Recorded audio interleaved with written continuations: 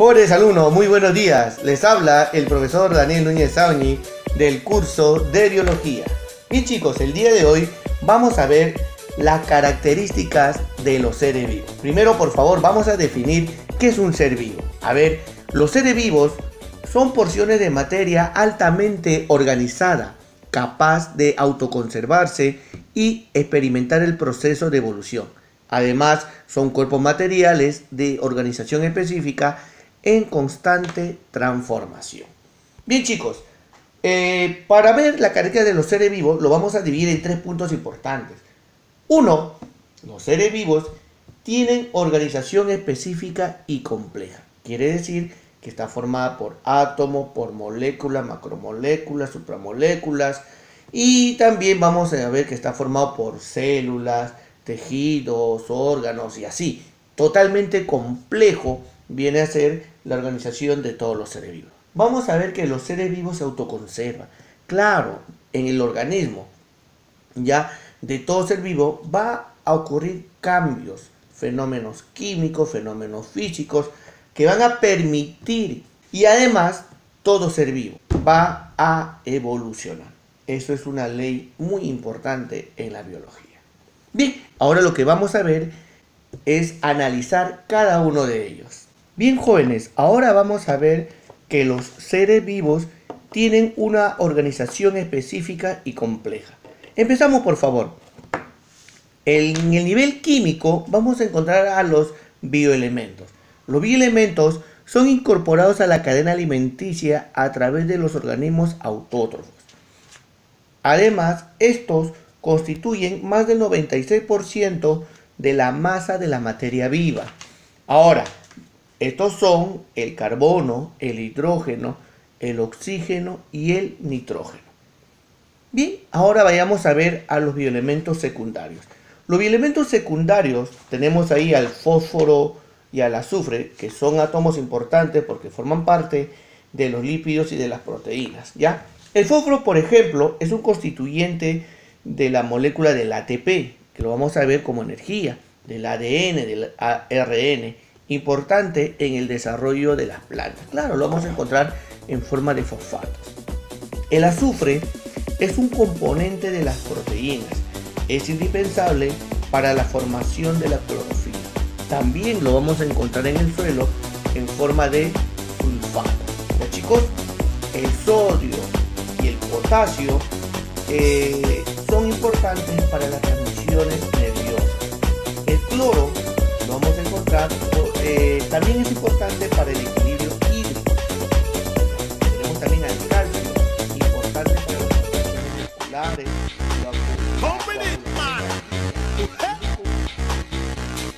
El magnesio, chicos, es un constituyente de la clorofila.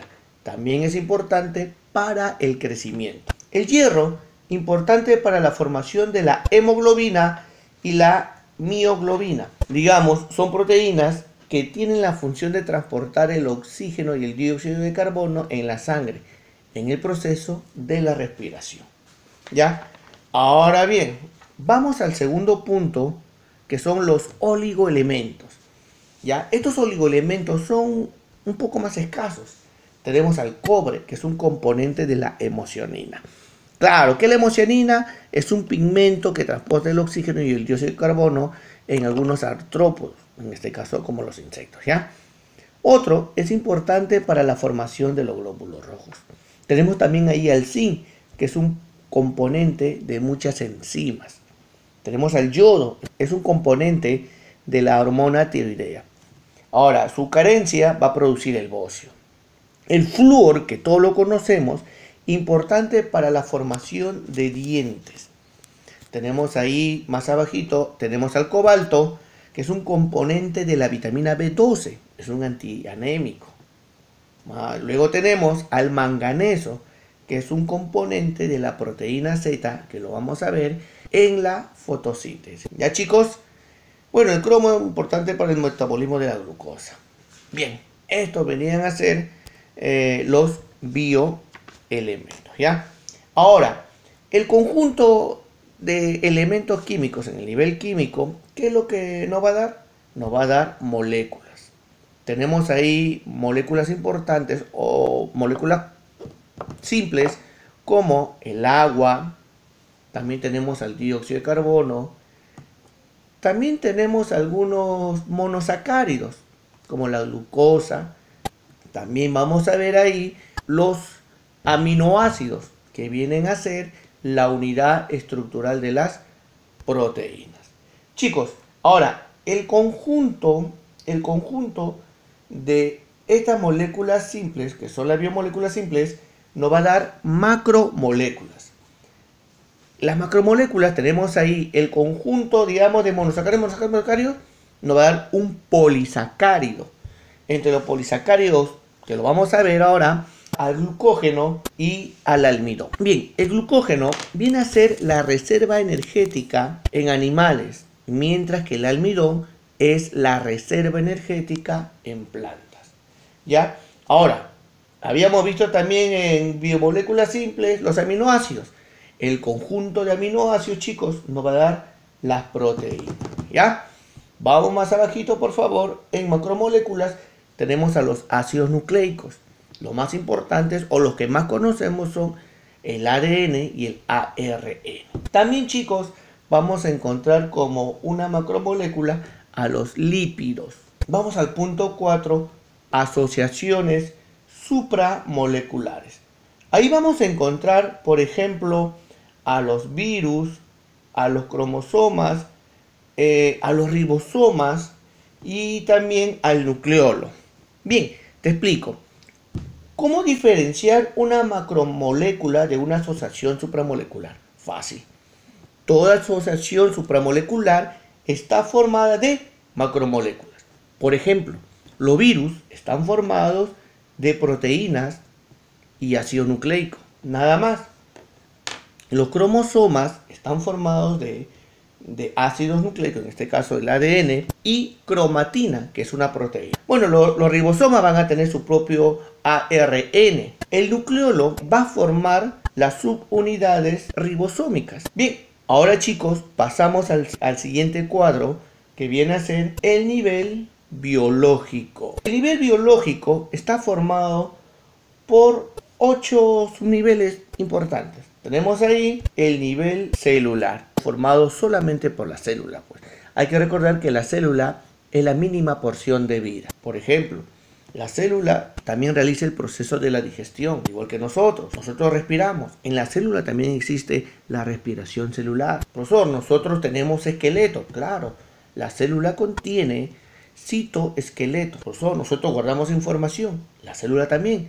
En el núcleo celular contiene información genética. Bien, ahora el conjunto de células nos va a dar otro nivel biológico, el llamado nivel tisular, conformado por tejidos. Si vemos en el ejemplo, en el nivel celular, tenemos ahí una neurona. El conjunto de neuronas nos va a dar el tejido nervioso, ¿ya? Ahora, vamos ahora al nivel orgánico. Ese nivel orgánico es aquel que está conformado por un conjunto de tejidos. En este caso se va a formar el cerebro. Puede ser el estómago, el páncreas, el corazón, los pulmones, los riñones, el hígado. Ahora, el conjunto de órganos que tienen un mismo origen van a formar el nivel sistémico. En este caso, como estamos hablando ya del sistema nervioso, tenemos ahí el sistema nervioso estaría formado por el sistema nervioso central formado por el encéfalo, encéfalo y la médula espinal. El encéfalo está formado por el cerebro, el cerebelo y el bulbo raquídeo. Y también la médula espinal. El sistema nervioso periférico está formado por los nervios que salen de, cada, de la ramificación de, en este caso, de la médula espinal. ¿Ya chicos? Ahora, el conjunto de sistemas, quiere decir sistema nervioso, sistema digestivo, sistema respiratorio, sistema muscular, sistema óseo, sistema cardiovascular, aparato reproductor, aparato respiratorio, etcétera, van a formar qué cosa? Un individuo. Ahí está nuestro individuo, en este caso forma un gatito. Ahora, el conjunto de individuos de una misma especie van a formar una población. ahí como vemos en la imagen, vemos una población de felinos, en este caso de gatitos, pues, de gatitos muy bonitos. Bien, vamos al punto 7. El conjunto de poblaciones distintas me van a dar una comunidad. Ahí vemos en el gráfico, vamos a mezclar un perro, un gato, dos loros, podría ser un pececito, una serpiente, el conjunto de todas estas especies distintas forman una comunidad. Y por último, el conjunto de todas las comunidades o de todos los seres vivos que están dentro del planeta se va a denominar biosfera. Bien chicos, pasamos al siguiente cuadro. En el punto número 2, el número romano, vemos los seres vivos se autoconservan. Vamos a ver este proceso, por favor. Uno, la autopoiesis. Dice, cada organismo contiene solo aquello que es necesario. Por ejemplo, en el proceso de la evolución de los seres vivos, estos van a, van a desarrollar órganos o mecanismos para poder subsistir en ese medio. Por ejemplo, las plantas carnívoras han podido desarrollar en un suelo que es bajo en nitrógeno.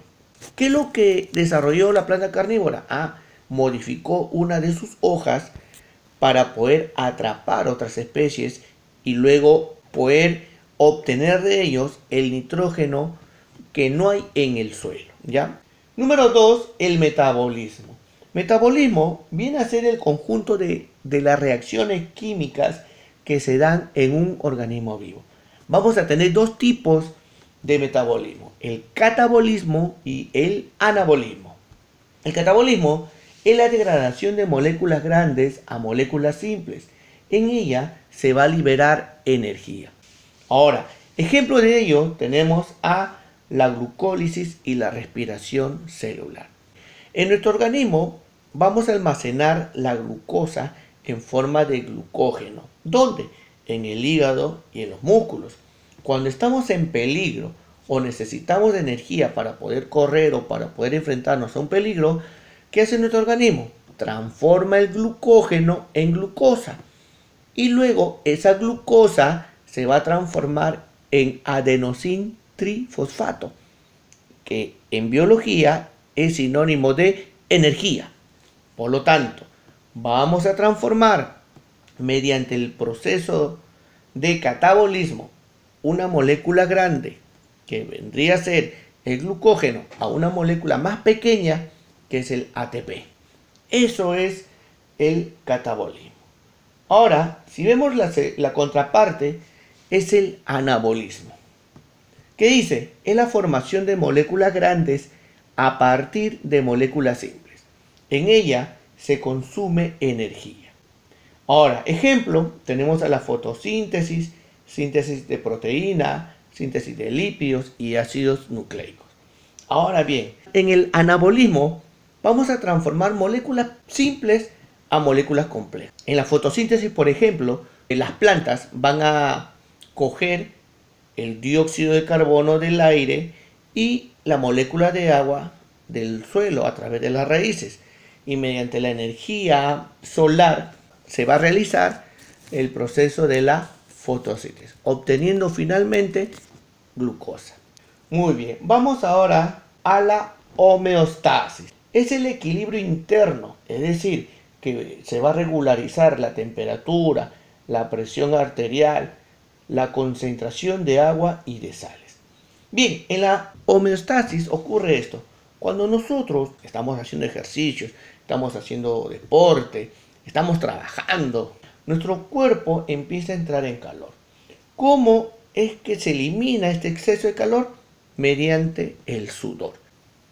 Jóvenes, ahora vamos a la irritabilidad. Dice así, es la transformación de estímulos en la respuesta apropiada a cada estímulo.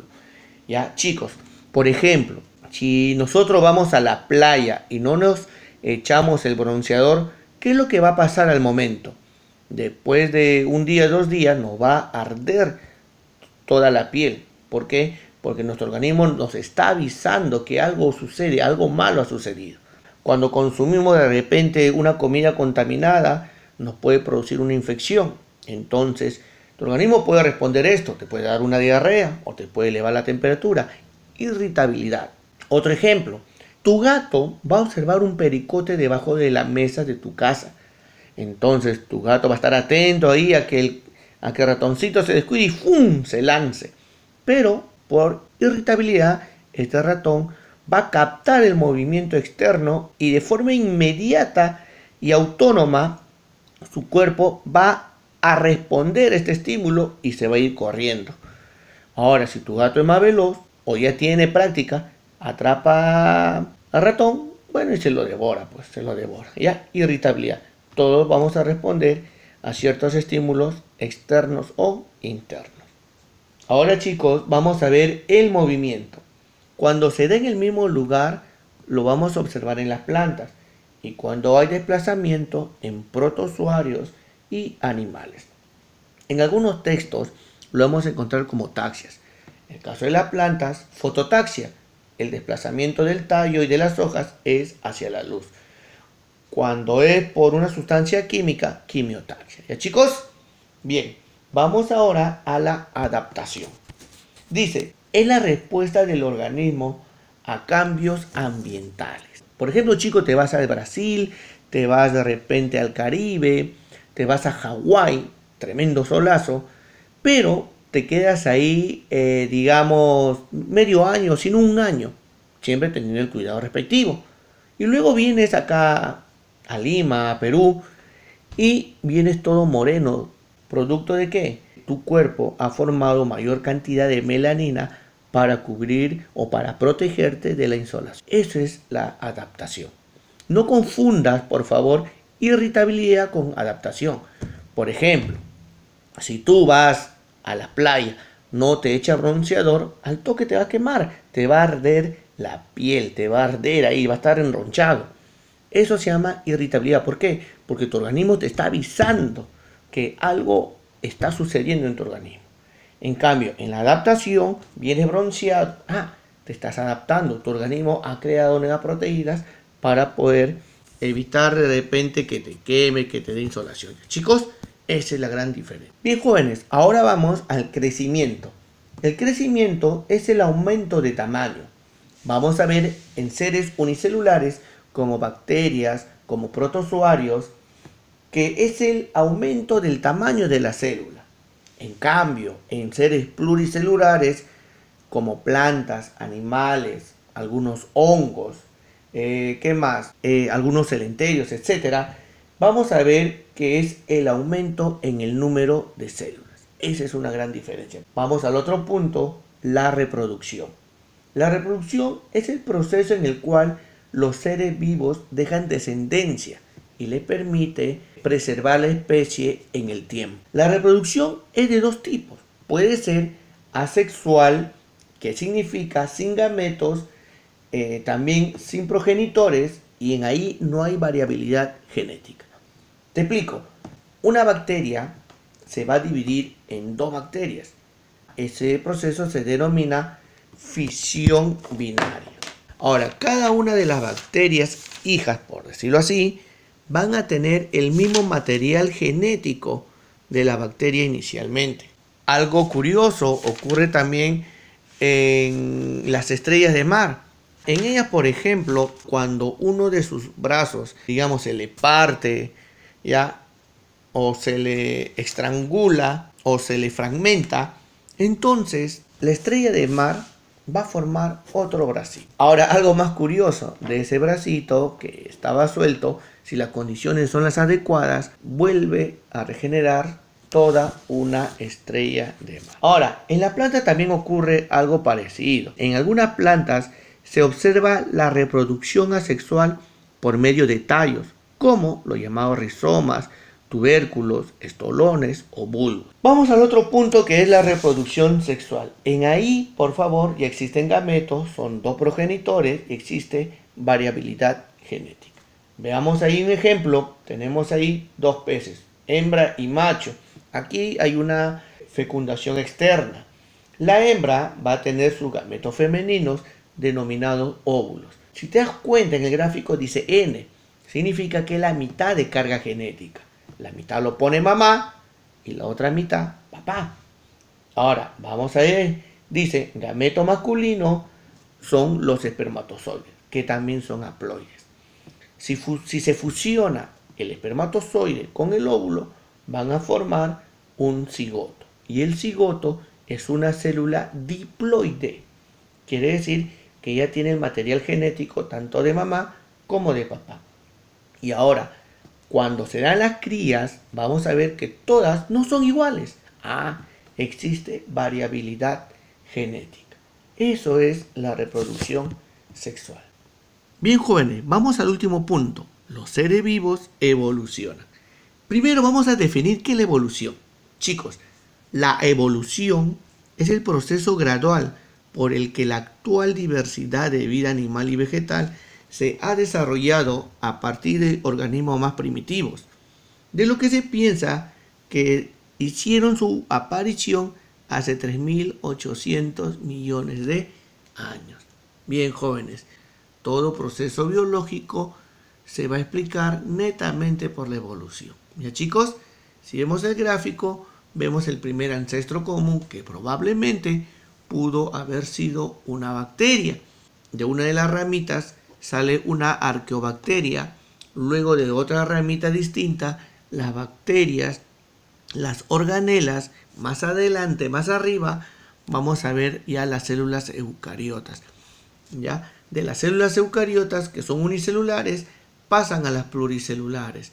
De las pluricelulares eh, vamos a ver seres invertebrados y hasta los seres vertebrados. Y finalmente la aparición de los mamíferos. Bien chicos, eso fue la explicación de la característica de los seres vivos.